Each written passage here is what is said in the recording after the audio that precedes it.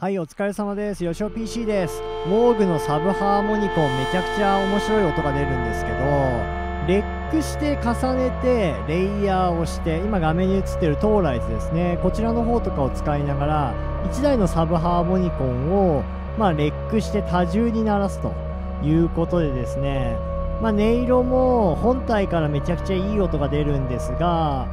DJ ミキサーの方に挿しているのでこちらの方で DJMV10 のシマー FX とかその辺のものを使ったりまあイコライザー少し低音切ったりしているわけですけれどもこちらの方を調整してます。そして DJMV10 のセンドリターンを使ってセンドで多少ですね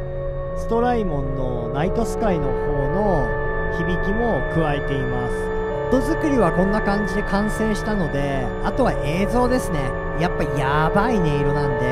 やばい映像を今からつけてみたいと思います。はい。やばいでしょなんかどんな映像でもいいんですけどやっぱりこういう雰囲気のあるというか何ていうのかな。あんまり意味がわからないと言ったらなんですが、まあ、YouTube で見るよりも例えばどでかいシアターとか音響がめちゃくちゃ気持ちのいいような映画館とか？もちろんクラブのどでかいバックスクリーンとかにこういう映像を流してですね目と耳と同時に訴えると。いいですね。この何とも言えないランダマティックな感じの映像とランダマティックな音色。モーグのシンセサイザーが鳴らす音なので正直単純に音階がドレミファソラシドとかねクロマティックとかマイナースケールみたいなものが定まっているわけではないアナログシンセサイザーから鳴る音をですねさらに多重で重ねたらやべえっていうことでいろいろな使い方がシンセサイザーっていうのはあるのかなって思うんですけれどもとにかく音色に引っ張られてくっつけた映像が全部あの病んでる系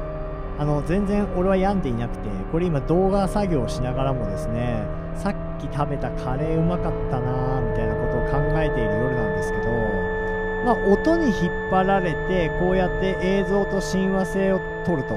いうようなのは単純に曲を作っていてもこれからの時代必要になるなっていうのを改めて思いました。まあ今回の動画はサブハーモニコン単体でもやばいけど多重録音して重ねたらもっとやべえっていうそんな感じの動画でした。ご視聴ありがとうございました。またね。